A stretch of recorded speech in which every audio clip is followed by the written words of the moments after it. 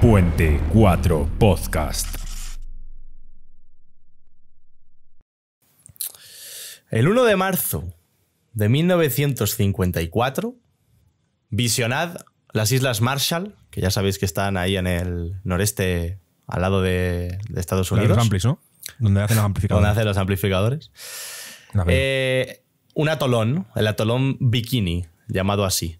Eh, ya sabéis que los atolones son estos archipiélagos, bueno, no son archipiélagos, son varias islas eh, juntitas, no llega a ser archipiélago porque no son muy grandes tampoco, pero son estas preciosidades que hay que hay en el Océano Pacífico. ¿Por qué te ríes? Esto no es un tema para ¿Sabes? reírse, Sergio.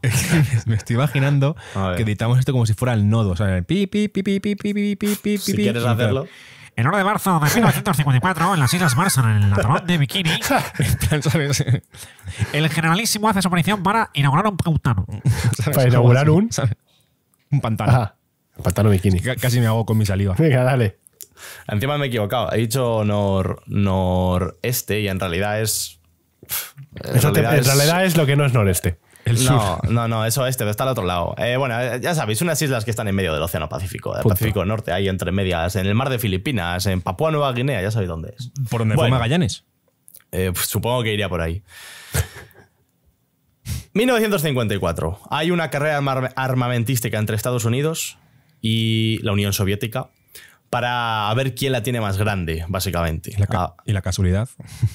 a ver quién la tiene más grande. ¿Qué pasa? Que el 1 de marzo a las 6 y 45 eh, de la mañana, Estados Unidos tira una bomba de hidrógeno termonuclear, que no confundir con bombas atómicas, donde están hechas de plutonio y uranio, y estas están liberando, donde hay fisión en las de hidrógeno, y son muchísimo más potentes. Se detona una bomba en, en la linde del mar, justo a la altura del mar, eh, no subterránea, sino eh, a unos metros de altura, y se detona una bomba de 15 megatones. Para que os hagáis una idea, un megatón son mil Campos de fútbol. no. No, pero. Pero. Pero equivale. Equivale a un millón de toneladas de TNT. Bueno, pues 15 millones de toneladas de TNT es lo que detonó la bomba eh, llamada Bravo dentro de la operación Castle. Por eso se llamó ¿Y Castle Bravo. todo eso, ¿Y cómo llevaron todo ese TNT hasta Porque- la linde del mar? Porque no era TNT, Es una bomba, era una bomba atómica. O sea, atómica. era- Tiene la misma potencia que no 15 atómica, millones. No atómica, Eh, perdón. Es una bomba nuclear. eh, eh, eh, en ¿De realidad. Es- no, la llevó un avión. ¿Qué pasa? Que detonó. Y es la bomba que no debería haber sido detonada jamás. A Estados ver. Unidos. Ninguna No. debería serlo, realmente. No, porque otras no han causado A ver. tanta controversia. Depende, la bomba. Que una bomba bien tirada a tiempo quita mucha A tontería. ver, eso, eso- a ver, ahí tienes toda la razón. No te voy a decir que no. La bomba, Que luego, luego cumple 10 años y, y bájale tú del carro ya. la bomba medía 4,5 metros de largo y 1,36 metros de ancho, pesaba 11.000 kilos y costó 2.600 millones de dólares fabricarla. 2.600 millones de dólares. La tercera temporada de... No me parece, no me parece tanto. De dinero, dices. poco. Para lo que es, De no. dinero. Para lo que es, no me parece tanto. Estados Unidos tiró 1.054 bombas en 20 años. Te puedes hacer una idea de lo que costaban también las otras. Esta- 1054 como esa. Eh, no, más, más flojas, más. Bueno, pero La- pues esta, esta ha sido, esta ha sido la bomba más fuerte eh, detonada por eh, Estados Unidos. De hecho, es la segunda bomba más fuerte en la historia Que se ha detonado. ¿Y cuál es la primera? ¿O que se ha detonado. La primera es la bomba del zar, que luego hablaremos de ella Al ligeramente. azar. Bueno, la explosión eh, delante de la isla Bikini, delante me refiero muy delante, a muchos kilómetros, porque la bomba eh, causó una onda expansiva de 7 kilómetros a la redonda en la que lo destruyó todo, alcanzando en el núcleo del fuego interno de la bomba más de un millón de grados. Pues, chaval, un millón de Espera, espera, grados. espera, espera, espera, espera, espera, espera, espera, espera, espera, espera. Cerebro, cerebro, cerebro galaxia. Ahora A ver, mismo. Sergio, a ver. ¿qué te pasa? Esto va fuera de coñas, ¿eh? ¿Es posible que Bob Esponja viva en fondo de bikini y que fondo de bikini sean los restos de la bomba nuclear? ¿De la bomba atómica? ¿De la bomba de hidrógeno? ¿Qué? Y que, las, y que y la- los peces de esa zona estén contaminados por la radiación y tengan conciencia propia porque sean mutantes debido a la radiación de la bomba? A ver, pregunta obligada. ¿Cómo se llama la casa de Bob Esponja? Una piña. No, pero has dicho. ¿Por qué dices lo de Fondo bikini? de bikini. ¿Se llama Porque así? la ci- el- sí. Pues seguramente. Ah, pues entonces, entonces no es broma, igual es verdad. Que no, que no, que no, que lo estoy diciendo completamente en serio, ¿sabes? Pues mira. O sea, Bob Esponja está ahí, en el fondo bikini.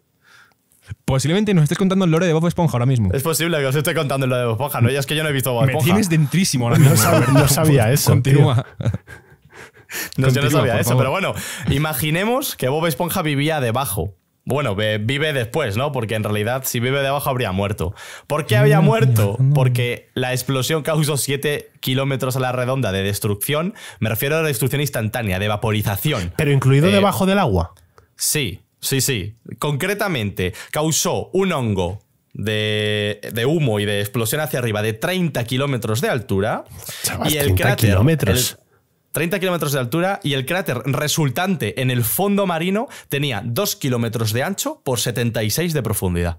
Hizo un Es que agujero. fondo de bikini. Hizo un agujero de 76 metros en el fondo marino, Más, o sea, desplazando- pasó todo el agua, llegó al fondo y 76 metros. desplazando todo el agua que había, porque había una superficie, o sea, había un nivel de, de agua de, de no sé si eran 200 metros, y además hizo un cráter en el fondo marino de 2 kilómetros de anchura. O sea, para que Una la gente se haga una idea, Barbaridad, para que la gente se haga una idea, tú cuando vas en el avión vas a 10 kilómetros de altura, en un avión comercial. Sí. Esto es- llegó dos veces más arriba que Sí. el avión. Tres. es como, como cuatro tres Everest. veces más.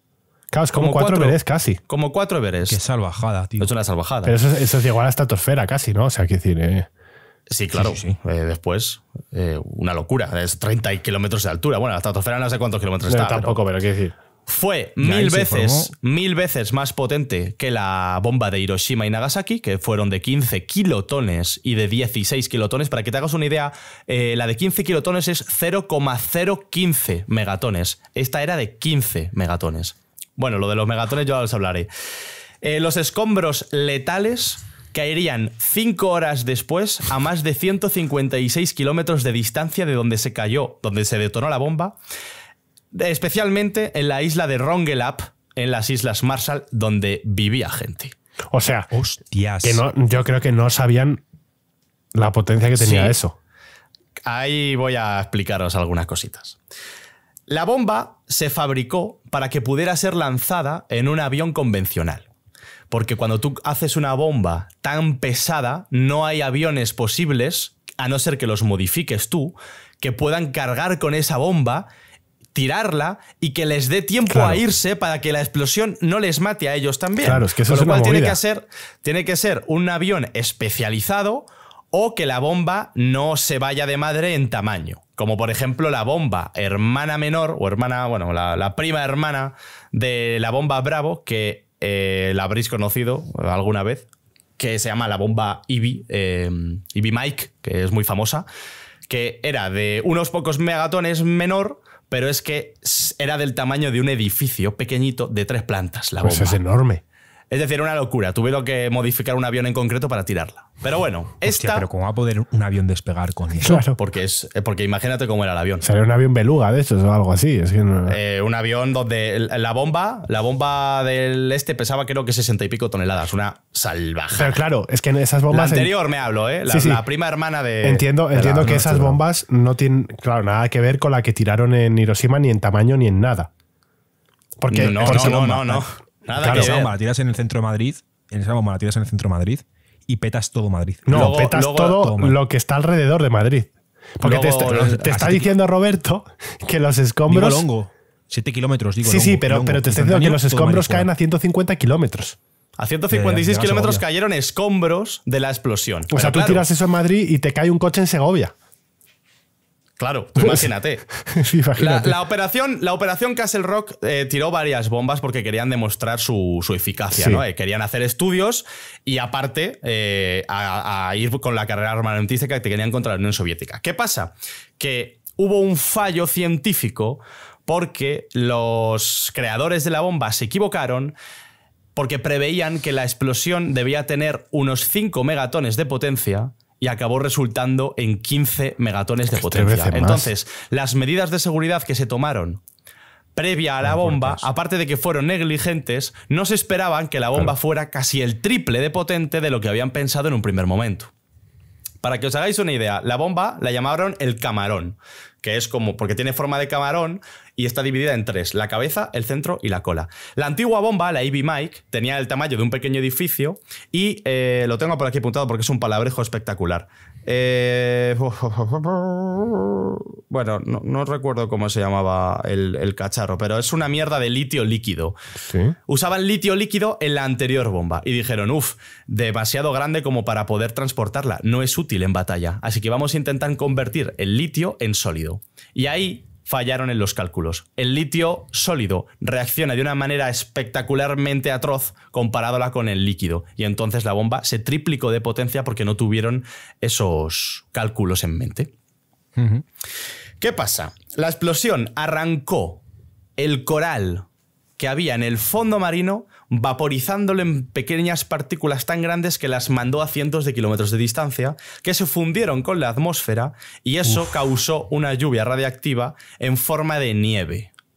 La Pero ceniza... Lluvia radiactiva por la propia bomba, entiendo, no por el coral. No, eh, sí, por la propia bomba, pero las partículas del coral al difuminarse quedaron como arenilla, que viajó mucho más rápido debido a los vientos. Entonces eso se fundió con las nubes, y con, bueno, con las nubes, mucho más arriba de las nubes, con la atmósfera, y eso hizo que precipitaran ceniza en forma, esto es un poco cruel, en forma de nieve. En la isla de Rongelap, las niñas y los ¿eh? niños que estaban jugando pensaban que nevaba Ya, pero. Y jugaron con la nieve. Pero eso, eso, eso pasó. eh, ha pasado, Sí, por ejemplo, en Chernobyl. Chernobyl pasó- Que la lluvia radiactiva la gente brillaba y no se es- pensaba que era. Y no. No es lluvia, es Claro, como radiación. ceniza y parece que está nevando porque es blanco. ¿Qué pasa? Que la isla de Rongelap eh, cayó todo eso. Todos y- muertos. eh, ahora te explico. Entonces, Americanos, ¿no? Claro, la gente es americana ahí. Bueno, en un primer momento sí, eh, estaban a- administrativamente los manejaba Estados Unidos. Luego se independizaron por todo esto Mm. claro, lo que ocurrió. Pero, eh, claro, es, es- es lógico. Los habitantes de Rongelap, la isla, la isla más afectada, junto con otras, porque había dos, no estaban excesivamente habitadas, pero sí que vivían varios cientos de personas, sobre todo en las zonas más afectadas. No fueron evacuados hasta tres días después de la explosión. ¿Vale? Luego hablamos de la Eh, URSS, ¿eh? Joder. 7 REMS, que es la dosis por exposición de radiación, es capaz de cambiar las moléculas de cualquier tipo de compuesto y las de tu sangre también. 7 REMS es una cantidad mortal en un ser humano. Los, las personas de la isla de Rengelap llegaron a tener 300 REM en sangre. Ya, pero es que te da igual. O sea, Sí, quiero decir, da- si siete son mortales, ocho o- ocho mil me dan lo mismo. Me voy a Te da prácticamente igual. Oficialmente se estima que hubo más de 300 casos de cáncer ese mismo año, porque no te mueres automáticamente, algunos, pero no se conocen tantas muertes oficiales, pero seguramente haya habido muchísimas, muchísimas, muchísimas más muertes. Eh, ¿Qué pasa? Que, como ya he dicho, no solo hubo fallos científicos en la elaboración de la bomba, sino que fueron de negligencia pura, porque tenían que tirar la bomba con unos vientos, pero como tenían mucha prisa por todo el armamento y por todo el protocolo, no contaron, no tuvieron en cuenta que los días posteriores, los días, horas anteriores a la bomba, había unos vientos enormes que expandieron toda la mierda que soltó la bomba, incluso a la India, a Japón y a las costas de Europa. Pues muy bien todo. Es decir, no se sabe el alcance de todos los cáncer y todas las malformaciones que hayan podido ocurrir a lo largo del mundo porque no se pueden contabilizar. Tú no sabes si eso proviene de la radiación de la bomba, al igual que ocurrió con Chernobyl. Eh, había el USS Curtis, un barco de la propia eh, Marina americana. Cuando la bomba explotó, estaban a 23 millas de la bomba. Los arrasó a todos, los mató. Pero ¿cómo que los siete- arrasó? A 23 millas. 23 Son millas. 50 kilómetros casi. Claro. No, Sí, 50 sí. no, pero 40 y pico. Sí, son casi Los- 50. No, Sí, una milla náutica es- no. es. Son- 23, no, 23 1,6, millas ¿no? son unos 30 y pico. 30 y pico, 30 y pico, 40 30 y pico sí. kilómetros. Pero ¿cómo los va a matar? ¿Ya- ya ¿En el acto? De calor. Los mató. Hostia. ¿En Los mató acto? de calor. No, no en el acto. Eh, Quemaduras de Los tercer arrasó. grado y se murieron. Pero quiero Porque decir, cuando Explotó y la onda expansiva les llegó. Y el, el, calor, Sí, el, pero el calor les, reactivo. el calor les llega. Sí, pero La- quiero la- decir, el calor les llega, pero es que es lo que quiero saber. Si, si eh, la propia explosión, eh, igual que a 7 kilómetros a la redonda, vaporizó todo, luego eso siguió avanzando, la onda expansiva, y en cuanto pilló el bueno. barco, los, los, los, los calcinó. No te Aumentó la preocupes, lo, tengo por aquí. temperatura. Lo tengo por aquí. hizo de día, como Eh, quien lo tengo por aquí, mira. Hasta 32 kilómetros eh, te puedes sufrir quemaduras de 32. De, uy, 32. Hasta 32 kilómetros puedes sufrir quemaduras de tercer grado. Eso es la bomba. Una bomba de, de 3,5 megatones. Pero es que esta 15. tenía 15. Entonces, la bomba del zar, por ejemplo, vaporizaba, vaporizaba a los 40 kilómetros a la redonda, pero el aura, el área de, de quemazón eh, llega a los cientos de kilómetros. Rompe crist- la bomba del zar, que tiene 55 megatones, rompía cristales a 900 kilómetros de distancia. ¿Qué dices? ¿Pero dónde, Sí. ¿Pero dónde la tiraron la bomba del zar? En un archipiélago arriba de Rusia, en el mar de Zemlia. Pero Arriba, espérate, en- espérate, me estás diciendo tú. A La ver. bomba se veía a 1500 kilómetros de distancia y hay vídeos, porque pusieron vídeos y, eh, y, eh, recrearon una especie de. ¿No habéis visto el típico vídeo de la bomba nuclear reventando casas y coches? Sí. Sí, el, de- el de Godzilla. Vale, eso es real, porque recrearon una maqueta real, una ciudad a escala real, para ver a cuánta distancia podía reventar. Pero, o sea, Eh, tú tiras esa la- bomba no es la del zar, ¿eh? Vale, es pero tú tiras la bomba del zar en, en, en Madrid y en Portugal del Francia. Norte rompes las ventanas. Sí. Pero, pues sí, qué barbaridad es esa. La bomba del zar la tiraron en, en el aire. Y en el ¿A aire se supo, a unos 100 metros, no? Así, a 4 ciento y pico kilómetros metros. de altura la tiraron. A 4 kilómetros de altura lo tiraron. Ah, Es que, petó, claro, petó las, la bombas, bomba. las bombas normalmente Bueno, tienen más efectos si las detonas antes de llegar Sí, al suelo. sí. Entonces, Claro, pues claro. Pero la- las de, las de Hiroshima y Nagasaki no se tiraron tan altas, se tiraron No, como no, a eh, 100, impact- 200 metros. no, impactaron, impactaron en un puente. Las de Hiroshima impactó en un puente. No, no, la de Nagasaki explotó en el Nagas- La de, Hiro- la de Hiroshima explotó en el aire. Una de ellas, la otra no. La otra, no sé, Hiroshima no. La de Nagasaki creo que, que No lo petó, sé. le- que cayó en un puente y la de, Hiro- y la de Hiroshima explotó en el La de aire. sí, a Nagasaki 100, fue peor 200 metros. que la de Hiroshima, eso sí lo sé. Por eso, precisamente. ¿Qué pasa? ¿Sabéis que, Que- hay un hombre, ¿sabéis, que un hombre que, que- que se fue de Hiroshima a Nagasaki y le pillaron las dos bombas y sobrevivió? ¿Mm? Venga, un, Pues imagínate. un dato os sobrevivió por lo menos. A las dos. La Lucky Dragon, otro vasco pesque, otro vasco, otro barco pesquero, no había un vasco pescando. Había un por ahí. vasco por ahí que dijo esto yo le meto un puñetazo. Un barco pesquero japonés, la Lucky Dragon 5, no fue muy lucky, la verdad. eh, también se vio afectado. Estaba a 80 millas de la explosión. ¿Vale? Los marineros pensaron, porque era las 6 y 45, que estaba amaneciendo. Vieron el sol salir por el. se- se. Vieron el, sol, vieron el sol salir por el oeste y dijeron, eh, what the fuck. Eh, no murieron en el acto, pero los niveles de radiación fueron tan espectacularmente altos que a los seis meses la media tripulación estaba muerta. Es decir, causó un problema diplomático de, relaciones internacionales entre Estados Unidos y Japón. Claro, tenemos que tener en cuenta el recuerdo de Hiroshima y Nagasaki, Entre que Estados previamente Unidos habían sufrido los... y todo el mundo. Porque estás claro. diciendo que es que llegó a las costas de Europa, a la India, a Japón. Es que no es con Japón, es con todo Cristo. Lo que, lo que llegó... ¿Por qué la gente quiere a Estados Unidos? Es que no lo entiendo. Bueno, pero es que espérate, es que la cosa se pone mucho más, más cruel después. Eh, a ver, que me pierdo ya. Perdón, Roberto, perdón si estamos haciendo demasiado Claro, es no, que- es que es, es risa, normal, pero es que- porque, es porque que, al perdón. final es normal, es normal. Es Entonces pues- explota la bomba. Están las islas del atolón de las Islas Marshall que se ven afectadas increíblemente. Hay un propio eh, navío, bueno, una, una fragata naval de la, de la propia Armada de los Estados Unidos que mueren a 23 millas de distancia. Un pesquero japonés que crea una crisis diplomática espectacular en los años 50 que de hecho propuso después todos los tratados eh, en contra eh, de las armas nucleares para hacer un stop a esas pruebas que se hacían al aire libre. Pero es que se han hecho muchísimas pruebas más después del- de este accidente, porque Estados Unidos lo intentó ocultar. Y diréis, ¿y qué pasó con los habitantes de Rongelap? Bueno, sacaron un decreto Estados Unidos que se llamó el Proyecto 4.1, que lo llamaron Estudio de respuesta de los seres humanos expuestos a radiaciones beta y gamma debido a la lluvia radioactiva de, de armas de alto rendimiento. Una semana después de la explosión, cogieron a todos los habitantes de la isla Rongelam y se pusieron a estudiarles, porque como no iban a morir, iban a morir exactamente igual, pues les llevaron a unas eh, instalaciones en otra parte del atolón para estudiar cómo afectaba la radiación a sus cuerpos. Madre mía. Murieron todos. Hombre, investigaron. claro, que murieron todos, Investigaron, claro, investigaron todas las malformaciones, hasta qué nivel podía aguantar un ser humano, qué podían comer y qué no podían comer, cómo trasladaba la radiación a los objetos que tocaban, cómo las embarazadas perdían a los bebés dos horas después de que nacieran porque los bebés salían sin huesos. Bueno, esto se estudió durante meses hasta que parieron, porque Claro. algunos los tuvieron que sacar por cesárea. Eh, se acuñó el término de bebés medusa porque nacían con la piel translúcida. ¿Qué dices, tío? Un caos.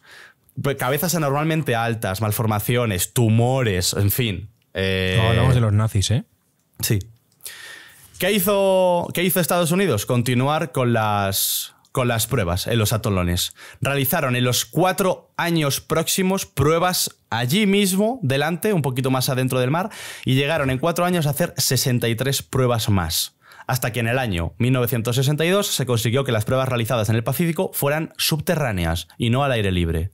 En mismo, 1966 se consiguió que el tratado pasara a que todas las pruebas nucleares del planeta eh, ocurrieran en, eh, debajo del suelo, soterradas, y lo firmaron 184 países. Se cree que Corea del Norte mm, está haciendo o ha hecho pruebas saltándose esos tratados, porque no, no firmaron todos, y entre ellos Corea del Norte. Eh, en cualquier caso, todas las bombas nucleares que se han tirado desde 1962-63 hacia adelante, supuestamente, han sido soterradas, para que no causen estas masificaciones de, de ya, pero a saber qué aire. causan, ¿sabes? Es que también te digo, a mí no me, claro, no me fío una mierda. Por eso te digo, es, es un caos. Eh, es lo que te digo. eh, en la isla de Rongelap, algunas personas, bueno, no en la isla de Rongelap, sino la- dentro de las Islas Marshall, que después eh, consiguió la independencia de los Estados Unidos y ahora es un estado normal y corriente que pertenece a la ONU y demás, ha basado su política, y tanto interior como exterior, para salir de la jurisdicción de Estados Unidos para que no se les haga más pruebas. Entonces fueron los grandes artífices de estos tratados que prohibieron todas estas bombas nucleares en las islas de los atolones. Pero da igual, porque luego Estados Unidos las hizo en Nuevo México, las hizo en Nevada, en todos los desiertos que son suyos, son... Pero es que estaba bombardeando y afectando a su propia población. Ah, claro. Es como si España prueba eh, bombas eh, cerca de las Islas Canarias. Es una locura. Y luego se ponen a investigar a las personas para ver cómo fueron afectadas, porque ya que estábamos, investigábamos. Es que hasta qué punto no habrá sido aposta. Es que Me suena que en España en los años 50, 60 hubo un incidente con una, con una bomba nuclear. Que no detonó, pero que casi o algo así. Pero no sería, de de, España. no sería de España, claro. no lo sé. No sé. Obviamente de España no, porque no tiene armamento nuclear, pero a lo mejor era en algún- en una base militar americana, en el sur de España. Mi duda Es es, posible. Me suena. y lo, Duda, y lo, descono- pregunta. lo desconozco totalmente, pero si eso pasó, ¿en qué año dices? ¿En el 54, 58? 54. 54. Y se hizo una 1 bomba, de marzo. una bomba H de, de 15 megatones. ¿Qué se puede hacer hoy? Eh, dicen que hay una bomba que tiene Rusia de 100 megatones. Pero ¿Y son 15? elucubraciones. Esto fueron 15. La bomba registrada más letal, vamos, más letal, más potente, la hizo Rusia en 1962, 10 años después. fue la del bueno, zar. años. Que fue la del zar que tuvo 55 Y megatones. esa se detonó. Esa se detonó para demostración de fuerza. ¿Bajo tierra? No, a 4 kilómetros de altura en un archipiélago en Zemlia, creo. eh, lo tengo aquí apuntado. Vale, ¿y eso en qué año fue? ¿Has dicho? ¿Perdona? En el 62. El 62. La bomba detonó, detonó en el aire. La temperatura que se creó debajo de la bomba, de la bomba de- del zar fue de 3 millones de grados. Es más que, el sol. Eso te iba a decir, ¿a cuánto está el sol? Si es que está más que el sol. A, a menos, a menos. Es que. Te, es- da- te refiero, me refiero al núcleo, ¿vale? El núcleo de la explosión del centro, el epicentro, por así y, decirlo. yo, y yo digo, eso fue hace 60 años. O sea, Sí. con toda la innovación exponencial que ha habido de tecnologías, Ya, pero- ¿qué pueden hacer hoy, tío? La gente que puede Pero a hacer. nivel nuclear, a nivel nuclear en los 70 se, se congeló. Se dejó de investigar Bueno. la, la energía nuclear. es uno de los grandes problemas que tenemos a día de hoy con las centrales, con las centrales que nucleares sepamos. están obsoletas. Que digo. sepamos. A ver, que sepamos. Pero que es uno de los problemas que tenemos a día de hoy con la energía nuclear, que es no está obsoleta porque a nivel teórico y. y- y- Claro, es que a nivel teórico se seguirá investigando. Escucha, Claro, escucha. avanzado, ha avanzado, pero es que las centrales nucleares que tenemos ahora mismo en el mundo, muchas son de los de esa época. de los Sí, sí, eso 70, es, eso así, Chernobyl eso es cierto. muchísimo. Pero, Pero no importa, no necesitas una bomba tan potente ya. Mira, la bomba No. del zar la petaron a 4 kilómetros de altura.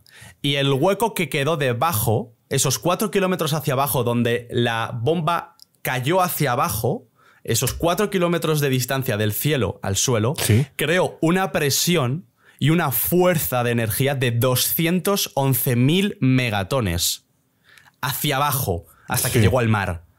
O sea, si la tiras en el aire, la fuerza que tiene hacia abajo es hiper, hiper, hiper, hiper incrementada. O sea, una locurísima. Mira, Rompió cristales a radio también. 900, a 900 kilómetros de distancia y hay vídeos de Y- cómo y se vale. ve la bomba explotando. Vamos, la bomba, se ve un, un fogonazo y la onda expansiva temblando las casas a 900. Allí no vive ni Peter, Claro, por claro. supuesto. Pero, tío, esto. O sea. ¿a, a cuántos kilómetros te mata? Con certeza. Depende de la bomba. La del Zar. Depende de la bomba, Sí. hay muchísimas. Por ejemplo. La del Zar. Si tú tiras la del Zar en Madrid, sí, o en te cualquier aniquila lado. Madrid. Te aniquila Madrid completamente. Es al, Al al- al instante. instante. O sea, ¿Al instante? Toda la comunidad de Madrid, la comunidad vaporizada. La ciudad, la ciudad. A ver, el centro. No, vaporizada no. Porque vaporizada te peta unos 20 y pico kilómetros. Por ahí la comunidad tiene mucha más Vale. hacia O afuera. sea, la ciudad fuera, eso seguro. Bueno, no, es más, unos 40 kilómetros. o sea, la ciudad fuera. Luego, luego está la onda expansiva que te peta. Te, te, te, te, Ardes. te destroza, no te vaporiza, pero te revienta Sí. a unos 70-80. Y luego, más o menos, a Espera, unos 100 kilómetros 70-80 del, del centro, ¿no? del centro. Vale. Y a unos 100 te abrasa. O sea, que si la tiran allí, todo lo que está Mira, yo lo alrededor miré, de yo lo Madrid. Yo lo miré. Yo en tres cantos. simuladores. Si la, sí, Sí, hay sí, una lo vi en web. la- una web. Si la tiras en el centro de Madrid, eh, Madrid hasta Alcobendas se va a la mierda. Más o menos, hacia arriba, hacia abajo.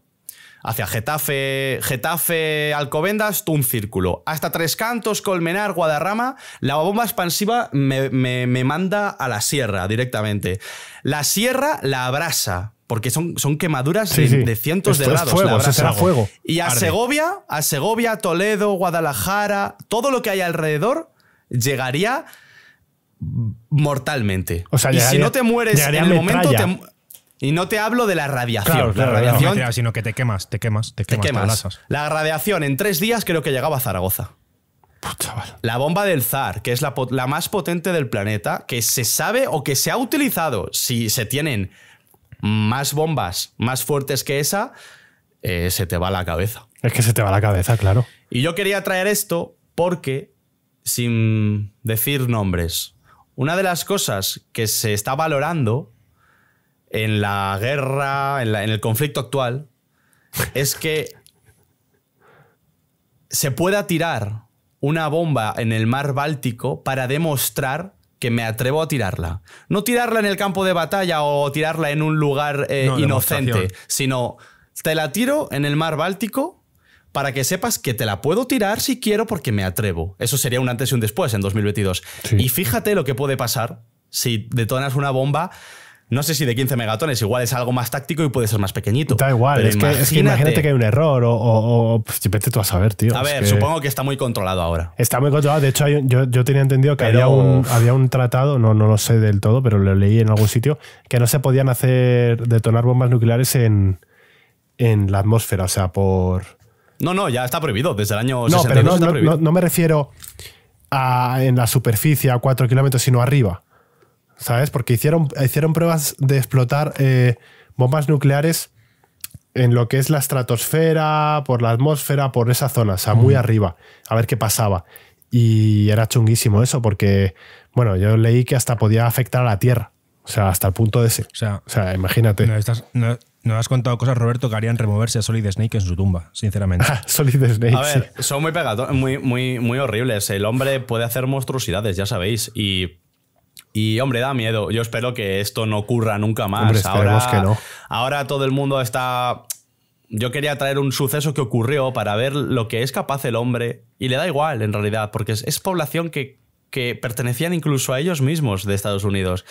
Eh, son- Pero también es, verdad que la comunidad internacional hoy no es como. cre- Quiero pensar que no es como era antes. No es como tío. era antes. Nos está demostrando que lo es. Yo creo que lo es.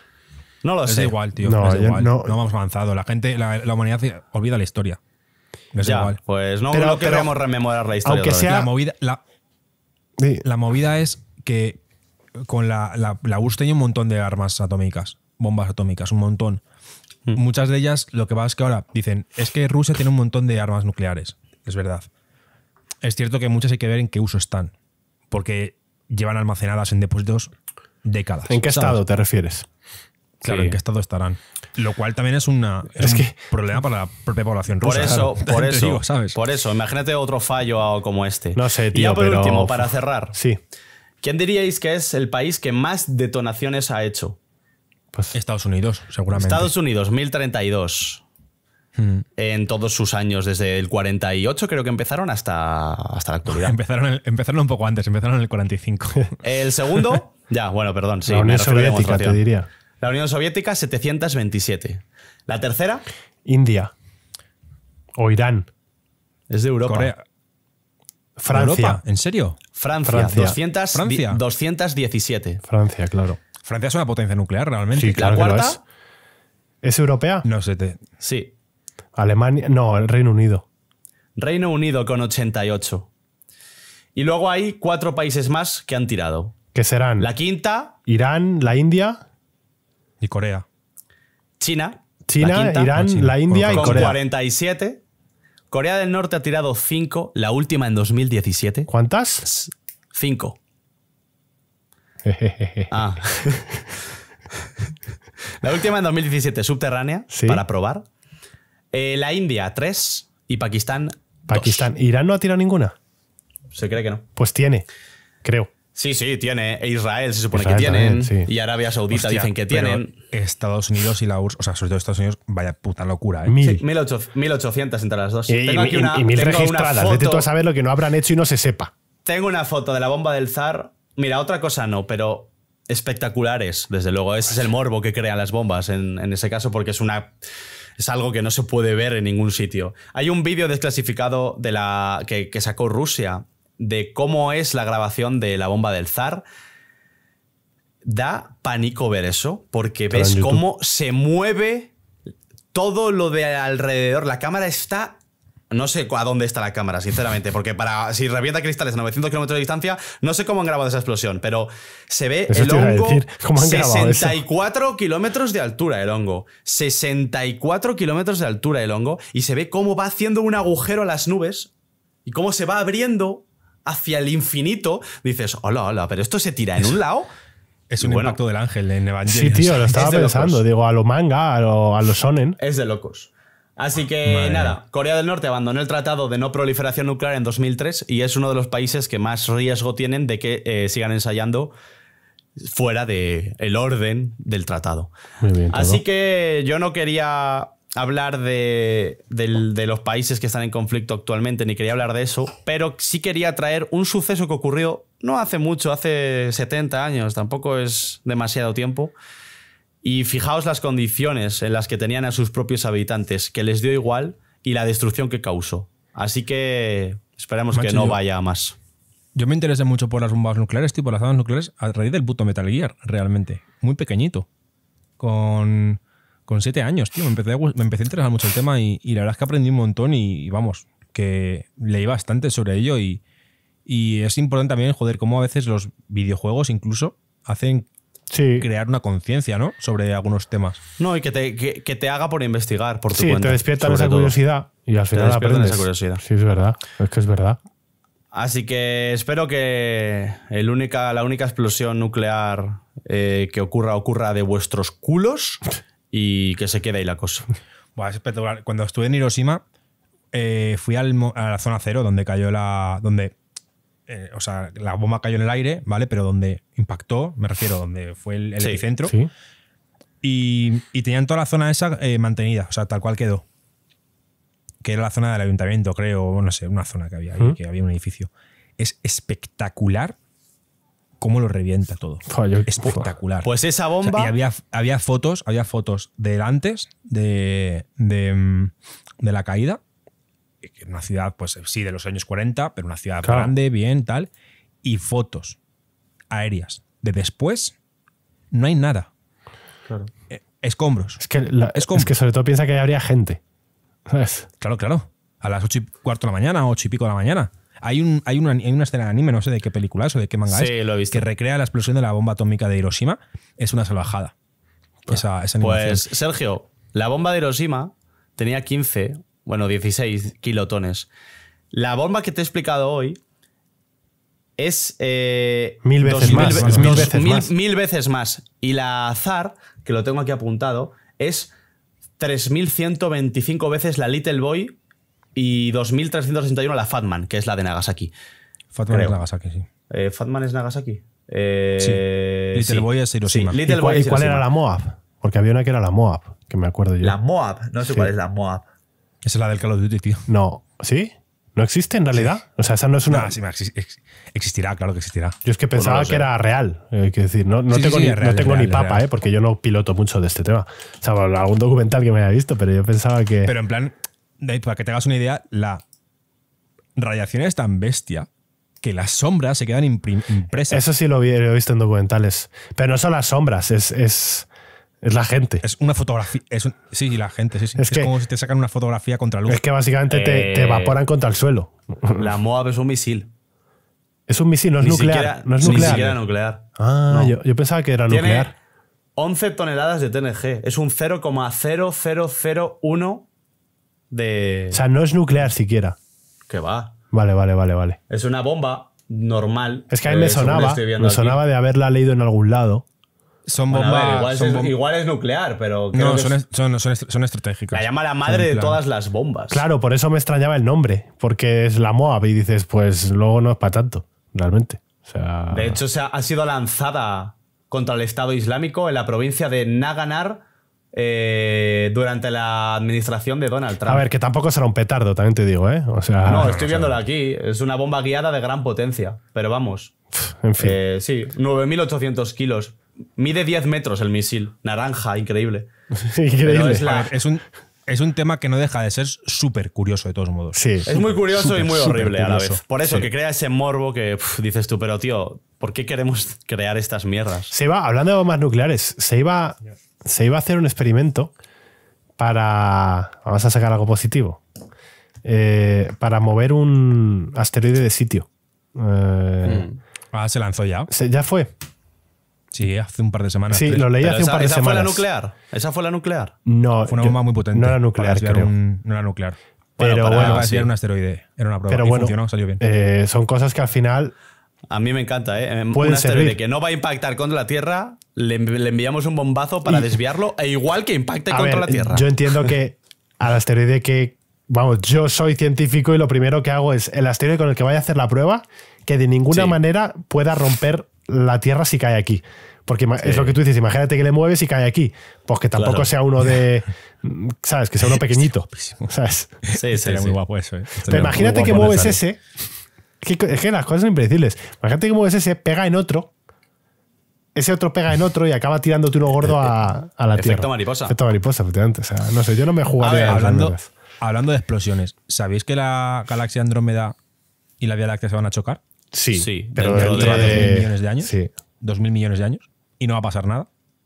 ¿Cómo no, No va a pasar nada. No, porque es- son distancias tan absurdas entre planetas y tal que no se van Se- a se van a- se van a-. Sí, igual Bueno, vemos pasar un planeta por ahí. Puede, puede, pero aunque no pase, algo pasa fijo. Hombre, la gravedad se Claro, vería se queda, afectada una, se queda seguro. una cola, se queda una pequeña cola, la fuerza gravitacional hará que se distancien menos, se vuelvan a juntar, se vuelvan a, a separar, se vuelvan a juntar y al final se fusionen en una supergalaxia. Pero yo creo Pero, que el- el- hombre, claro. movería las órbitas de los planetas. Si pasa un astro No, no, no. increíblemente gigante alrededor de nosotros, nos movería. Claro. El Sol es que no va a empezaría a es orbitar que no- alrededor de ella. Pero es que no van a pasar ni, ni remotamente cerca. O sea, de están ti, tan lejos ¿sabes? que ni, ni llega. Claro. Claro. Pero- Pero, hay como 30.000 años Pero luz puede, entre puede planetas. pasar ¿sabes? la casualidad de que justo un Ah, sí, sí, planeta claro. pete con otro. Pf, Sería muy casualidad, pero sí Con la suerte que tengo Lo yo, que sí que- Estáis lo que sí que puede pasar es que lo que sí que puede pasar es que cuando se crucen nuestro, nuestro sistema solar se vaya con Andrómeda y que abandonemos la Vía Láctea y nos vayamos a Pero Andrómeda. entonces sí que tendría que afectar la gravedad de alguna manera para llevárselo. Pero que no muere nadie, me refiero. Bueno, ya veremos. Yo no estaré para verlo, creo. Yo tampoco. Creo que nadie, porque antes petaría el sol. No, el Sol creo que son 5.000 millones. Pues a que se junten las dos galaxias, eso no lo vamos a ver nosotros. Pero no, justo en 5.000 millones de años se juntarán. pues nada, no, no lo vamos a ver. Ya está. Bueno, pues esto es lo que os quería Interesting. traer. No, no vayáis a YouTube a mirar Compilation Nuclear Bombs, No. por favor. No, no. Voy a ir ahora. ¿Sabes? O sea, Así que, pues ya está. Hasta aquí el programa de hoy. Eh, yo poniendo mi, mi, mi granito a la, a la desesperanza, pero no. Desde aquí os digo que no va a ocurrir nada y que ya está. ¿Estás cansado, Roberto? No. Ah, no. Hoy es prontito. Pues yo estoy que, cansado, tengo hambre y me tengo que tomar un paracetamol. Me duelen las tetas, pero bueno. Pero. es que Exceso, ha venido el de el- el exceso de información. tocado. Roberto, exceso de información. Me refiero al pectoral. Roberto, Que he hecho press banca hoy, dime. Roberto, saluda a la gente. Saluda, sí. Uy. Ah, no, vale. Los mismos, creo. Tere. Eh, pues iba a decir una locura. No, no. es que siempre la ofendo. Y hoy, hoy, hoy la ofensa era que muy no, fácil. que no ofenda, que no Pero ofenda. no, ¿Qué no. es esto? Eh, Tere, muchas gracias por tus suscripciones. Alberto, muchas gracias por tu suscripción maravillosa. Y Miquel, eh, muchas gracias por tu suscripción maravillosa. Eh, gracias a todos en general los Patreon, estáis haciendo una comunidad maravillosa, nos encanta. Por cierto, hoy hemos tenido otra persona, otra persona más que ha hecho un aporte interesante, así que muchas gracias a ti también, que sabes quién eres. Y ¿Sabes quién eres? No sabes ni qué día es esto, pero sabes Hoy quién día eres. 10 ha sido el día 10, así que su nombre es muy cortito. Bueno, pues nada, muchas gracias venga, a todos. venga. Que cada vez somos más en Patreon, ¿eh? Y la gente. Y fue un conquistador. los, los Patreons. Aegon. Los Patreons. Aegon. Pues empieza por A. Animad a la gente que no es Patreon. Habladles. Contadles lo que lo guays que son los backstages. El backstage. Sí. Que, merecen mucho la pena. vamos Vámonos al al backstage, backstage, tíos. Pues venga, vamos, despide el programa, Sergio. Muchas gracias por estar ahí, gente maravillosa. Y nos vemos dentro de siete días, otra vez, en Puente 4 Podcast. Muchas gracias.